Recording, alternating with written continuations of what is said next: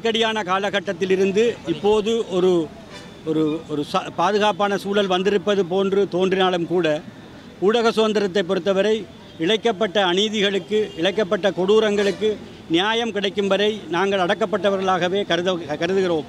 அடக்கும் நிலை தொடர்வதாகவே கருதுகிறோம். குறிப்பாக வடக்கிலும் அதுவும் தமிழ் ஊடகவியலாளர்கள். உடைய நிலைமை இன்னும் மோசமாகத்தான் இருக்கின்றது.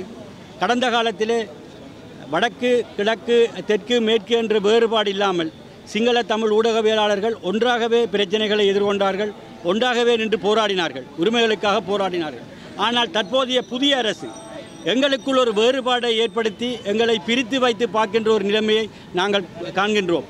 தெற்கிலே ஊடகவியலாளர்களுக்கு எதிராக முன்னிய அரசினால் எடுக்கப்பட்ட அடக் அடக்குமுறைக்கு எதிரான விசாரணைகள் முழு அளவில் முன்னெடுக்கப்படுகின்றன.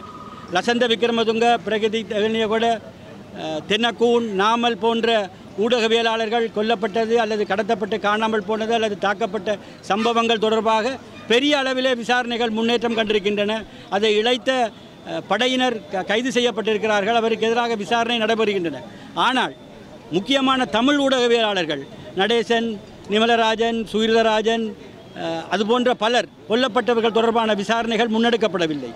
தெற்கிலே பாதிக்கப்பட்டவர்கள் என்று பார்த்தால் கூட தெற்கிலே கொல்லப்பட்ட சிவராம் தொடர்பாக எந்த நடவடிக்கையும் எடுக்கப்படவில்லை. உழைத்தவர்களை தண்டித்து நீதியை நிலைநாட்டுகின்ற பொறுப்பு கூறுகின்ற எண்ணம் இந்த புதிய அரசுக்கும் இல்லை என்பது தெளிவாகின்றது